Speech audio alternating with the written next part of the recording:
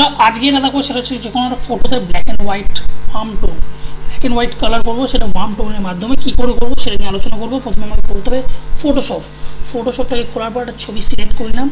Select করে নেওয়ার পর এবার জিনিসটা আমি হচ্ছে ইমেজে গিয়ে অ্যাডজাস্টমেন্ট করব। তো তার আগে আমি লেয়ারে কমপ্লিট করে নিলাম লেয়ারে কনভার্ট করে।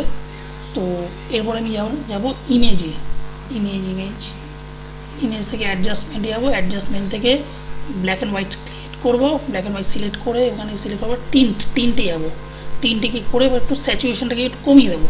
কমিয়ে নেওয়ার পর ব্যাস হয়ে গেল ওকে ওকে করলেই জিনিসটা আমার অলমোস্ট আমার ওয়ার্ম টোনে ব্ল্যাক অ্যান্ড হোয়াইটে কনভার্ট করে দেবো এবার পিএনজিতে তো।